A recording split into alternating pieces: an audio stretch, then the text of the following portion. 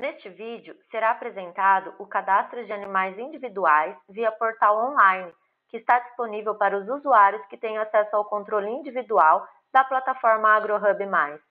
Para realizar o cadastro de animais individuais, selecione o item Controle Individual, localizado no menu à esquerda do AgroHub.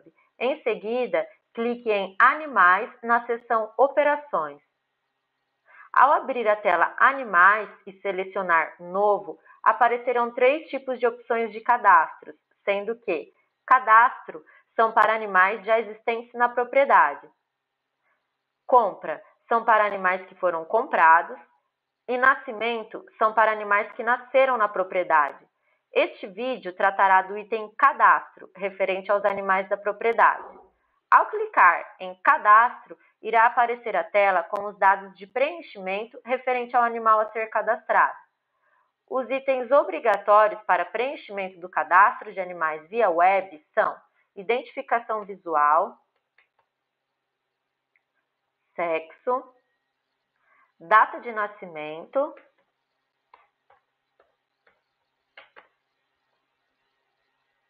Após preencher a data de nascimento, a idade aparecerá automaticamente no próximo campo. Peso, data da pesagem, espécie. Após preencher o dado de espécie, as opções de raça aparecerão automaticamente no próximo campo. Os outros campos podem ser preenchidos para que você tenha ainda mais controle e rastreabilidade dos animais. Há opção de cadastro para animal externo, ou seja, que não está presente no plantel da fazenda na data atual ou não faz parte do rebanho da fazenda, mas é utilizado na reprodução, como por exemplo doadores de sêmen. Para esse tipo de cadastro animal, é necessário clicar na opção Sim em animal externo. Também há a opção de selecionar tags e composição racial quando existente, para melhor identificação destes animais dentro do sistema, permitindo à fazenda categorizar os animais e agrupá-los como desejar. As tags poderão ser utilizadas depois para filtros em relatórios e buscas.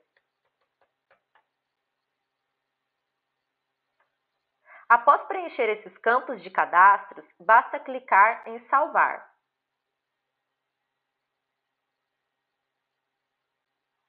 É possível editar os dados cadastrais dos animais clicando no ícone da caneta na coluna Opções e, em seguida, Editar.